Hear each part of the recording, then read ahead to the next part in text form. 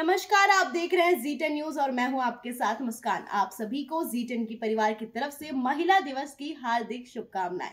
हो सकता है कि आपने मीडिया में अंतर्राष्ट्रीय महिला दिवस के बारे में सुना हो, या फिर अपने दोस्तों को इस बारे में बातचीत करते हुए सुना हो।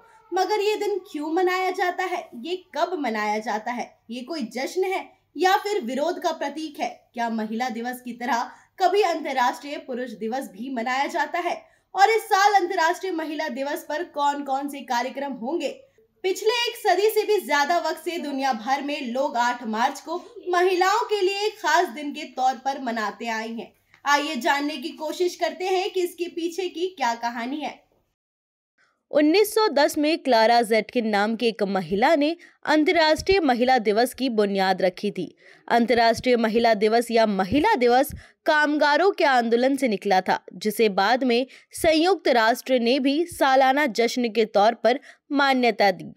इस दिन को खास बनाने की शुरुआत आज से 115 बरस पहले यानी 1908 में तब हुई, जब करीब पंद्रह हज़ार महिलाओं ने न्यूयॉर्क शहर में एक परेड निकाली। उनकी मांग थी कि महिलाओं के काम के घंटे कम हो, तनख्वाह अच्छी मिले और महिलाओं को वोट डालने का भी हक मिले।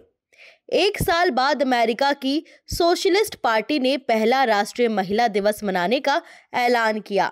इसे अंतर्राष्ट्रीय बनाने का ख्याल सबसे पहले क्लारा जेटकिन नाम की एक महिला के जहन में आया था। क्लारा एक वामपंथी कार्यकर्ता थी। वो महिलाओं के हक के लिए आवाज़ उठाती थी। उन्होंने अंतर्राष्ट्रीय महिला दिवस मनाने का सुझाव 1910 में डेनमार्क की राजधानी में कामकाजी महिलाओं के अंतर्राष्ट्रीय सम्मेलन में दिया था। उस सम्मेलन में 17 देशों से आई 100 महिलाएँ शामिल थी।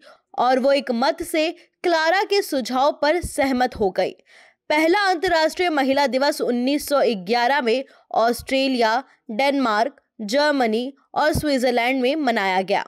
इसका शताब्दी समारोह 1911 में मनाया गया। तो तकनीकी रूप से इस साल हम 112वां अंतर्राष्ट्रीय महिला दिवस मनाने जा रहे हैं।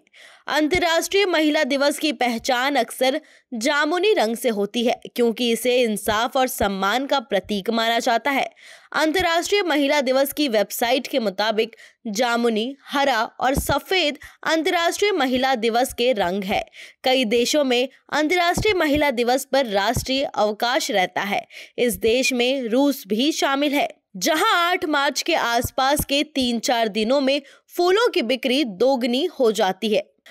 महिला दिवस सिर्फ़ एक दिन के लिए महिलाओं को थैंक यू या उन्हें तोहफा देने के लिए नहीं मनाया जाता है।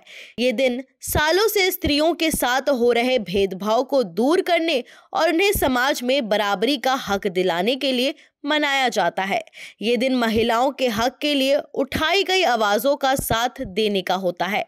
सालों से अपनी जड़ें जमा चुके पैतृक समाज में महिलाओं को पुरुषों जितनी आज़ादी और अधिकार आज भी कई जगहों पर नहीं मिल पाए हैं। इसलिए महिला दिवस मनाना बेहद ज़रूरी है।